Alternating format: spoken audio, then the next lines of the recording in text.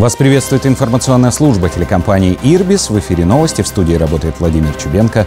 Здравствуйте. Главные события, факты и комментарии. В начале выпуска коротко о главном. Спустя рукава ряд руководителей привлекут к дисциплинарной ответственности в Павлодарской области. Я как каким области, которым должен заниматься э, стратегическими вопросами развития Павлодарской области, процентов 20 времени уделяя на то, чтобы разобраться с мусором. Коммунальщики рассказали, почему устанавливать детские площадки начали осенью. По каждому двору людям объясняем, что идет задержка завода. Полсотни павлодарцев сегодня проверили свои знания во время общеказахстанского диктанта. Сегодня на аппаратном совещании глава региона указал руководителям ведомств на недоработки в самых важных сферах. В большей степени они касаются коммунальных вопросов. За бездействие некоторым чиновникам был объявлен выговор. Подробнее Азамат Айтхалин. После отчета руководителей отраслевых управлений области глава региона рассказал о вопросах жителей региона, которые ежедневно к нему поступают. Асаин Байханов отметил плохую работу сервиса 109 и потребовал его руководителя привлечь к дисциплинарной ответственности. Количество жалоб и обращений в областном центре выросло на 65%. Больше, чем полтора раза. Большинство вопросов, 80-90% вопросов извиняюсь за выражение, яйца выеденного не стоит. Кому-то надо обрезать ветку возле подъезда, в окно бьет. Кому-то надо мусор, чтобы почистили на, э, возле подъезда или же на детской площадке. Я как каким области, которым должен заниматься э, стратегическими вопросами развития Павлодарской области, процентов 20 времени уделяя на то, чтобы разобраться с мусором. На аппаратном совещании особое внимание заострили на обращении молодого специалиста. Получив востребованную техническую профессию, он не может трудоустроиться. Это пример слабой работы госорганов, отметил Аким области. Центр занятости. Сейчас это называется карьерный центр. Центр развития карьеры, да? Переименовали, вывеску поменяли, но суть работы ничего не изменилось. Развитие карьеры подразумевает. Вот человеку, который закончил институт, университет по современному, получил техническую специальность, предлагает пойти учиться в колледж или же работу крановщика. Аким области подчеркнул, что в целом поступает много жалоб на управление образования, соцзащиту, здравоохранение. Есть вопросы к работе полицейских. Азамат Эйтхалин, Максим Носков, телекомпания «Ербис». Жители Кибастуза ограбили павлодарский магазин по продаже смартфонов. 32-летний парень познакомился с девушкой, которая работала в филиале торговой точки в городе Горняков. Она, сама того не подозревая, рассказала обо всех нюансах. Мужчина втянул в дело знакомого и вместе с ним поехали на дело в областной центр. Угрожая ножом, один из них напал на продавца, заставил открыть витрину и вытащил 25 айфонов. Второй следил за тем, чтобы никто не вошел внутрь. Потерпевшую оставили связанной в магазине, а злоумышленники злоумышленники скрылись. Общий ущерб достиг почти 6 миллионов тенге. Больше половины продукции Apple успели продать. В суде обоих признали виновными и назначили по 7 лет лишения свободы. Павлодарцев, совершивших самоподжог из-за обвинений в вымогательстве, осудили к трем годам колонии. Напомню, в апреле двое парней облили себя бензином перед полицейскими в знак протеста.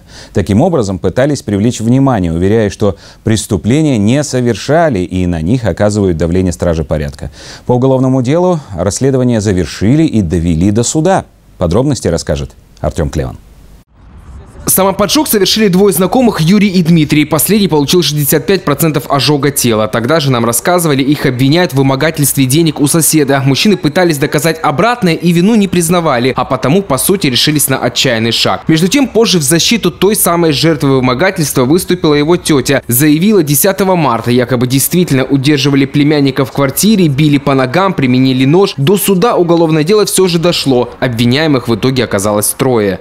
За вымогательство законом в качестве основного наказания предусмотрено ограничение либо лишение свободы. Судом П, Ш и У признаны виновными и назначено наказание в виде лишения свободы сроком 3 года каждому. Приговор в законную силу не вступил. К концу заседаний все они вину признали в полном объеме по одному факту вымогательства, то есть 30 тысяч тенге. По второму случаю в деле фигурирует 800 тысяч. Все отрицали. Вердикт не вступил в законную силу. Артем Клеван, Станислав Кейкин, телекомпания «Ирбис». Почти на 280 тысяч тенге штрафовали автолюбителя в Павлодарской области. Водитель иномарки пять раз попал под прицелы камер. Об этом сообщает главный новостной аккаунт региона в Instagram irbis.tv. Все подробности, а также другие обсуждаемые темы дня в нашем обзоре. А я напомню о том, что подписавшись на аккаунты телекомпании Ирбис, вы всегда будете первыми в курсе всего происходящего. Спонсор новостей из соцсетей «Ремонт Окнопласт».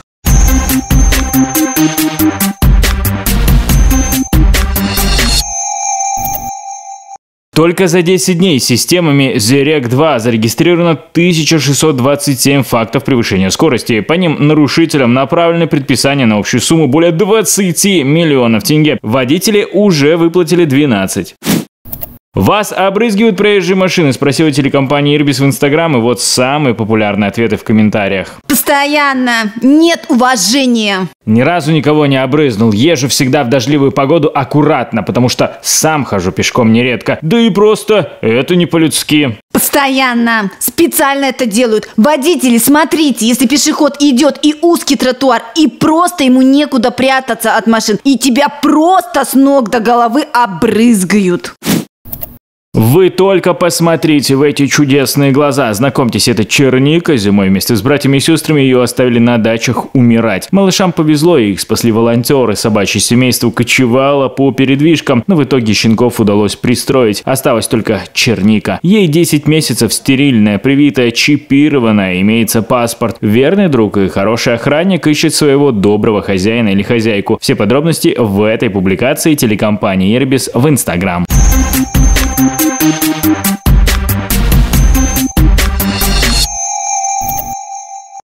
Спонсор новостей из соцсетей «Ремонт Окнопласт».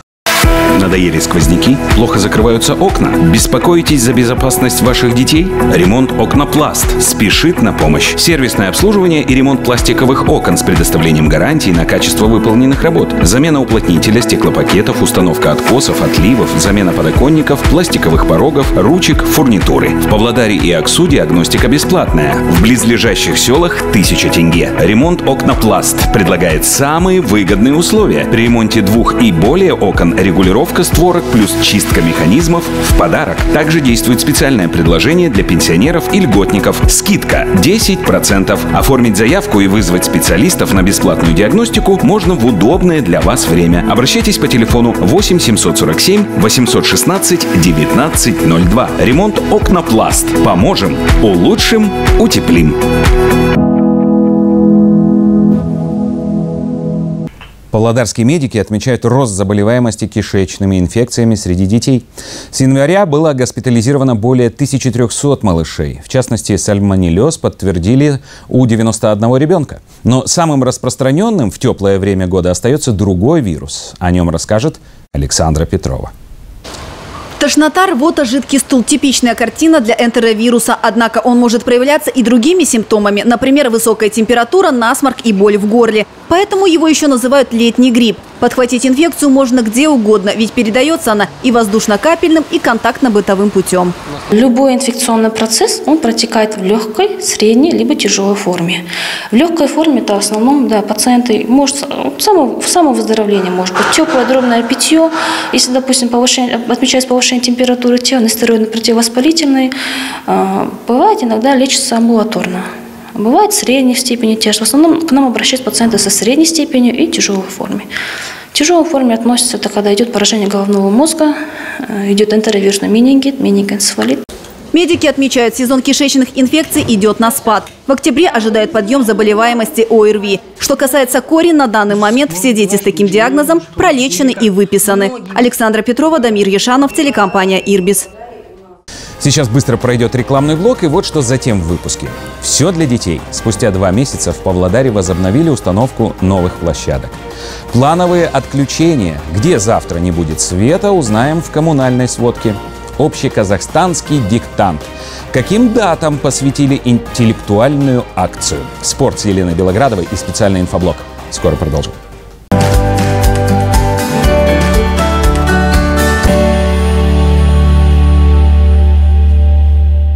Открытие магазина «Доброцен». Роняем цены. Сахар 400 тенге, колбаса чайная 817 тенге. Улица Баян-Батыра 20, дробь 1. Все мы помним с детства головокружительный запах свежеиспеченных пирогов. И сейчас пироговая лавка перенесет вас в то волшебное, сладкое время. Чем же пахнут их пироги? Теплом бабушкиных рук, маминой заботой, домашним уютом и добротой. Это не просто обычная пекарня, а место, наполненное необыкновенно вкусной выпечкой. Всегда горячей и свежей. Ее вкус забыть не получится. Горячий пышный мякиш, аппетитная румяная корочка и много сочной начинки. Ммм, пальчики оближешь. Забрать пироги вы можете сами или заказать доставку по номеру 8 708 504 01 69. Пироговая лавка пекут с огромной любовью. Город Павлодар. Со 2 по 28 сентября в бизнес-центре «Алтын» состоится большая ярмарка «Унты Якутии». Ждем вас! Время работы с 10 до 19 часов. Действует рассрочка 0%. Цена на аренду жилья растет с каждым днем. Лотерея Телебинго предоставляет уникальную возможность стать новоселом. 10 сентября участвуйте в розыгрыше квартиры от национальной лотереи «Сетто Жолдос». Покупайте билеты Телебинго на сайте sz.kz в отделениях почты и в точках продажи.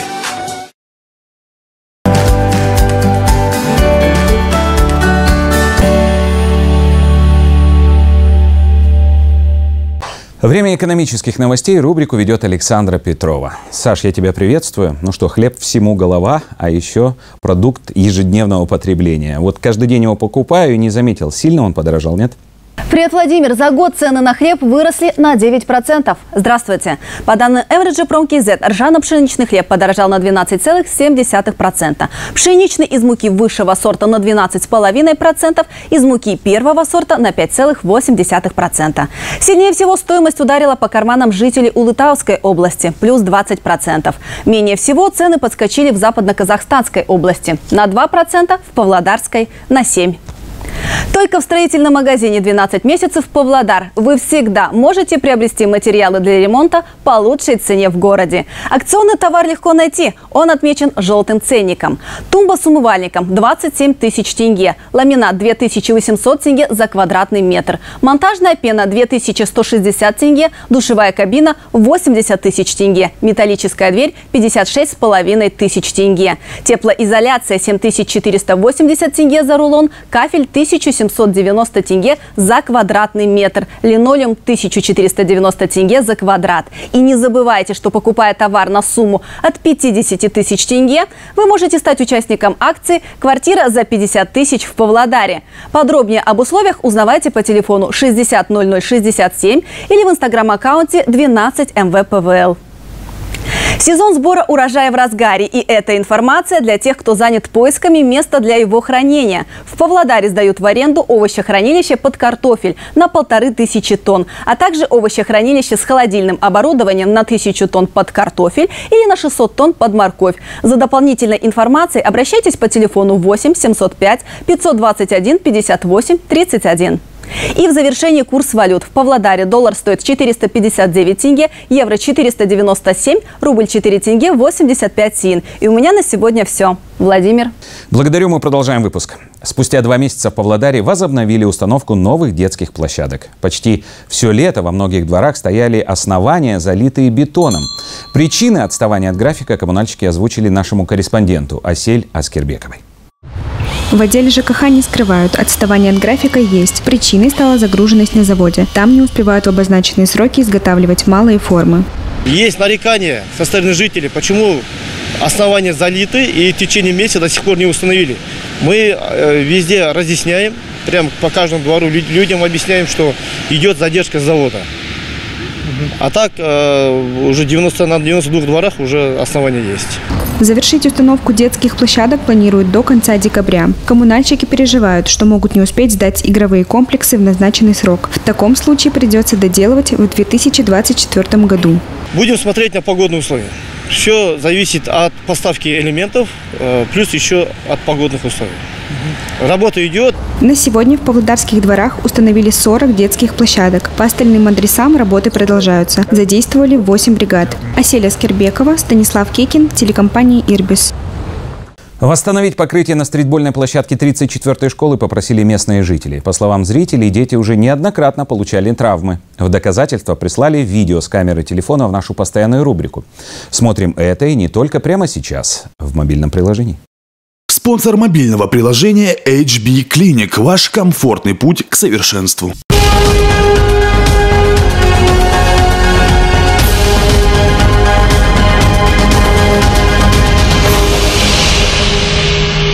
Тридцать четвертая школа. Ребята играют в баскетбол. Посмотрите, какое покрытие. Ну, смотрите. Споткнется, ведь ногу сломает же. Да, ребят? Покрытие поменяйте, пожалуйста. Хорошее видео. Да, надо поменять. Люди ноги ломали. Вот, ребята сами даже говорят, что поменять надо. Ноги уже падали. Улица Украинская, угол Щедрина. Позапрошлом году ложили асфальт. Предупреждали дорожников, что вода будет стоять. Невозможно пройти, машины утопают в луже. Вода идет под дом. Вся с дороги стекает под дом. Скоро пойдет в подвал и все затопит.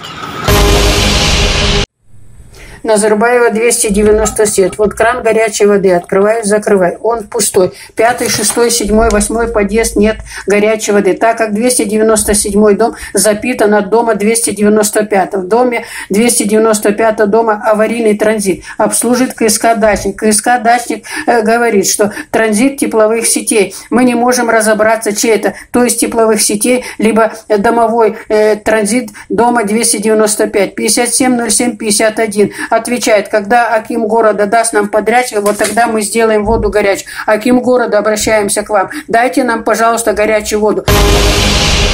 Вот с прошлого года работники ЖКХ не вывозят мусор.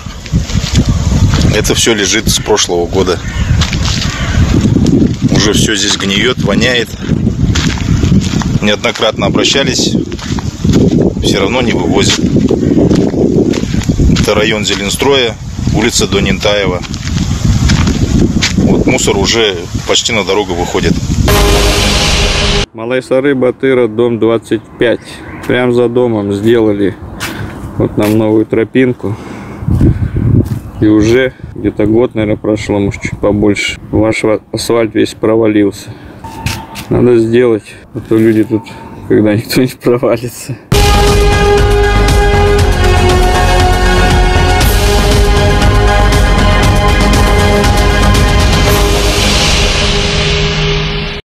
Спонсор мобильного приложения HB Clinic. Ваш комфортный путь к совершенству. HB Clinic – первая клиника пластической хирургии и амбулаторного лечения в Павлодаре. К вашим услугам первоклассное медицинское обслуживание, уникальные методики, высококвалифицированные врачи и комфортные стационары с современными палатами класса люкс. В HB Clinic благодаря комплексному подходу решат все ваши внешние эстетические проблемы. Пластические хирурги преобразят вас, сохранив при этом натуральность. Кроме того, в клинике принимают косметологи, терапевты и другие узкие специалисты. Причем не только очно, но и дают онлайн-консультации. В списке услуг также УЗИ всех видов и анализы. Это значит, в одном месте можно всей семьей пройти полный чек-ап здоровья. Быстро, комфортно, безопасно. В любое время, без очередей, по предварительной записи. Не откладывайте желание обрести новый образ и уверенность в себе. Свяжитесь с клиникой уже сегодня по номеру 8 700 800 09 99.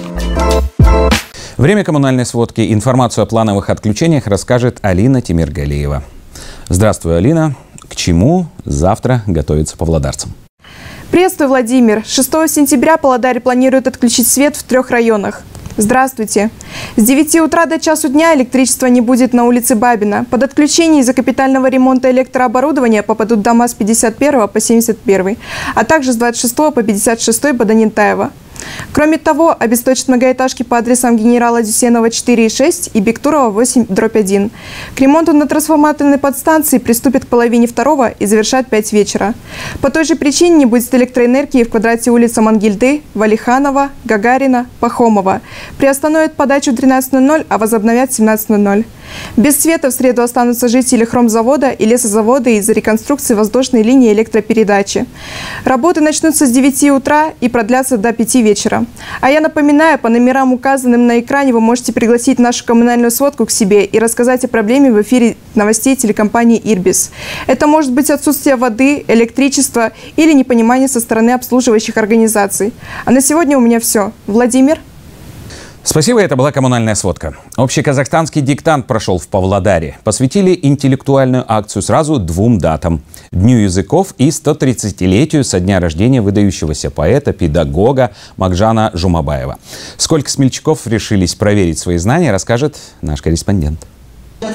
Участниками диктанта стали около полусотни павлодарцев. Это активисты этнокультурных объединений города, депутаты, солдаты воинских частей. Республиканская акция проходит не в первый раз. Все во имя одной цели. Пропагандировать, повышать роль, значимость нашего государственного языка, э, чтобы развивать наш язык чтобы поддерживать казахстанскую идентичность. Впервые участвует в общеказахстанском диктанте Эльвин Магарамов, представитель азербайджанского этнокультурного объединения. Интерес к государственному языку у него возник еще в детстве. Я за все это время участвовал первый раз в этом диктанте.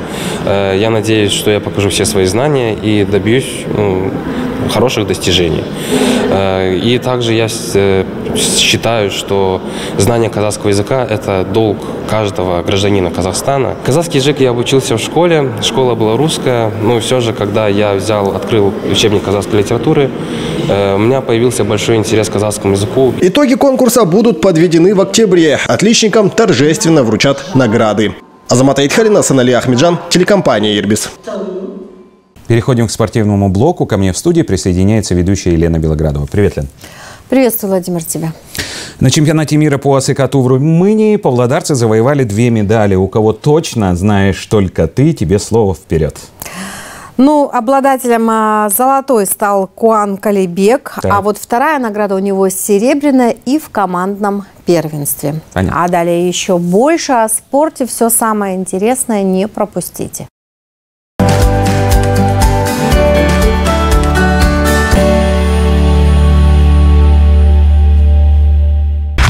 СТО «Форсаж» оказывает услуги по ремонту и техническому обслуживанию легкового и коммерческого автотранспорта высотой около 4 метров российского, корейского, китайского, европейского и японского производителя, а также проверит геометрию колес, регулировку развал схождения и проведет шиномонтаж. СТО находится по адресу улица Малая Объездная, 4 дробь 1. Контактный телефон 8 771 425 70 02.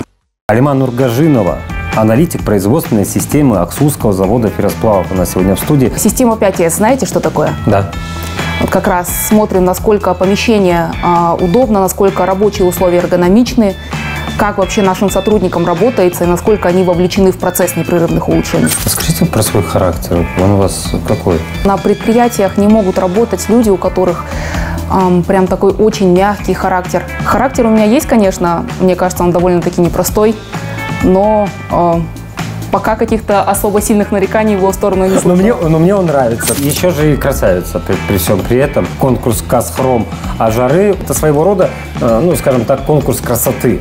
На самом деле девушки оцениваются по многим критериям. Молодежная политика, вы там тоже на заводе занимаетесь. Хочется как раз-таки участвовать во всем этом, быть в гуще событий.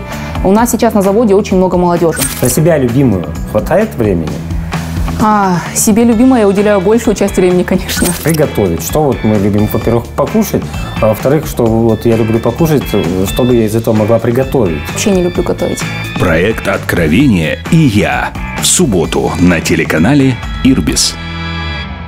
Как у вас там на личном фронте? На личном? А, глухо, как в танке.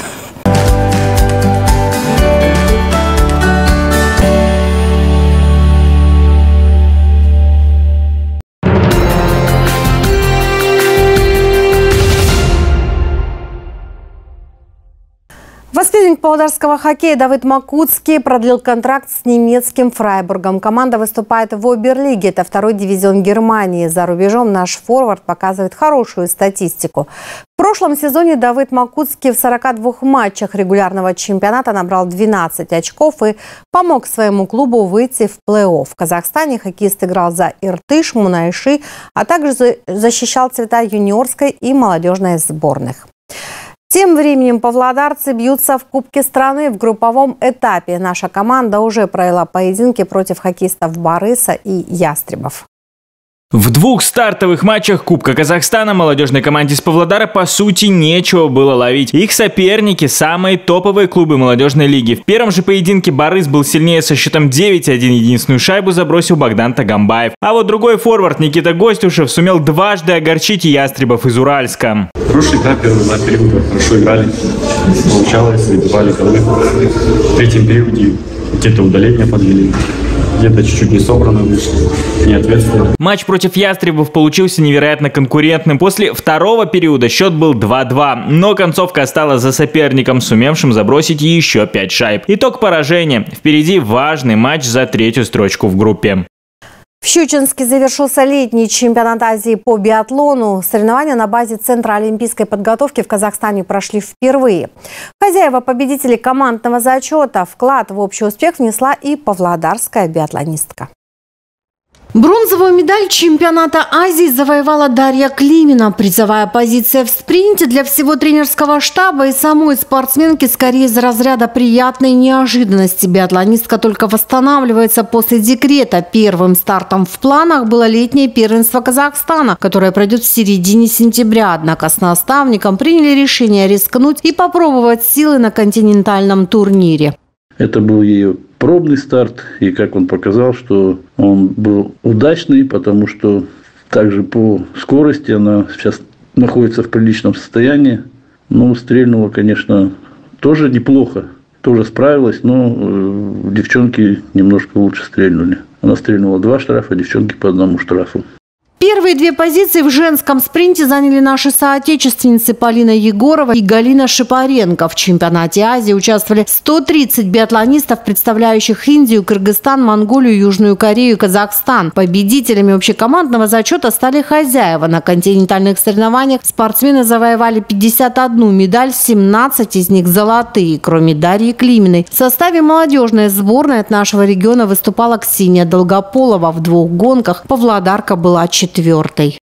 Шесть бронзовых медалей уже в копилке казахстанских тайквандистов на чемпионате Азии. Это результат юниоров. Далее в борьбу вступят кадеты. И здесь тренерский штаб возлагает большие надежды на лидеров сборной, в их числе и павлодарцы. Первенство Азии проходит в столице Ливана. Часть команды в Бейрут прилетела из Сараева, в том числе и наш Егор Шаптифрац. В Боснии и Герцеговине казахстанская сборная произвела настоящий фурор. Наши тайквандисты – победители чемпионата мира. Турнир мощно провели. И что знаменательно, да, вот в этом году 30 лет тэквондо в Казахстане. И такого результата, наверное, за 30 лет никогда не было. Первая команда место взяли. Казахстан. Угу. Это вообще в историю вошел день. На чемпионате мира? На чемпионате мира, да. Вот это да. Всех обошли, корейцев, иранцев, Сараево казахстанцы завоевали две золотых, четыре серебряных и бронзовую медали. Опередили даже самих родоначальников тайквандо корейцев. Они же основные соперники на азиатском континенте. Но сейчас на чемпионате мира в Ливане уже наших рассматривают как главных соискателей на победу. Юниоры уже обладатели шести медалей. Далее борьбу поведут кадеты. В этой сборной интересы Павлодарской области представляют Павел М. и Егор Шаптифрац. Юный полдарский пилот успешно прошел четвертый этап чемпионата Казахстана. Соревнования по автодрифту завершились в Алматы. Наш спортсмен продемонстрировал невероятную скорость. Участвовали порядка 50 профессионалов. Анатолий Кин остается самым молодым гонщиком. В квалификации он занял девятое место, однако пробился в топ-16 и продолжил борьбу. В этом туре его соперником был многократный победитель республиканских ралли, опытный Антон Агеев. Определить лучшего сразу не удалось. Судьи добавили даже два дополнительных заезда, где уже сделали выбор в пользу алматинца. Павлодарец остановился в шаге от финала. А в нашем городе впервые за 10 лет прошел чемпионат Казахстана по бодибилдингу. Турнир в мире фитнеса невероятно значимый. Лучше отправиться на международные соревнования. Чемпионат Казахстана в очередной раз доказал в Павлодаре одни из лучших культуристов в стране. Абсолютным чемпионом в двух категориях стал Серик Итыбаев. А микс стальных мышц и правильных пропорций привел рекордсмена Максима Еворовича к золотой медали среди мастеров. Причем успешный тренер не собирается завершать карьеру, хотя ему уже 43 года и дебютировал он в далеких двухтысячных. Признается, есть особенная мотивация. Ну, наверное, скорее всего, семья, потому что семья меня поддерживает, супруга, я даю пример сыну, я это в очередной раз говорю. Я получаю вот удовольствие от тренировочного процесса, от соревновательного процесса. 2001 год, я занял четвертое место, это был чемпионат Павлодарской области, это мой первый турнир. Вот получается 22 года назад. Года назад да. Насколько изменился бодибилдинг за это время, именно вот само развитие, сами спортсмены? Ну, на самом деле кардинально изменился э, в плане подготовительных процессов, выступающих атлетов, форм атлетов изменились. В акционерном обществе «Алюминий Казахстана» спортивных сотрудников невероятно много. Один из таких передовиков производства – электрик Дамир Дугин. Он уже 12 лет трудится на благо всей страны, не забывая поддерживать тело в идеальной форме и пропорциях. Дебютировал на чемпионате Казахстана и сразу же завоевал бронзовую медаль. Я работаю на алюминий-заводе, цех спекания, второй участок. В перерывы стараюсь кушать там а, утром пораньше, перед началом работы пришел, свой прием пищи сделал, там а, на обед покушал, перерыв там есть, где-то перерыв там полчаса там. Все, и потом рабочий день закончился, покушал, на работе же, после окончания работы. И пошел домой на тренировку. После тренировки покушал. Ну, вот так вот как-то по времени распределяешь. Главное желание, а найти время всегда можно. И таких чемпионов в акционерном обществе «Алюминий Казахстана» достаточно. Многие сотрудники, как и Дамир, сразу после работы устремляются не в увеселительные заведения, а на спортивные площадки нашего города. Это были новости спорта, но мы еще не прощаемся. Да, прямо сейчас специальный информационный блок.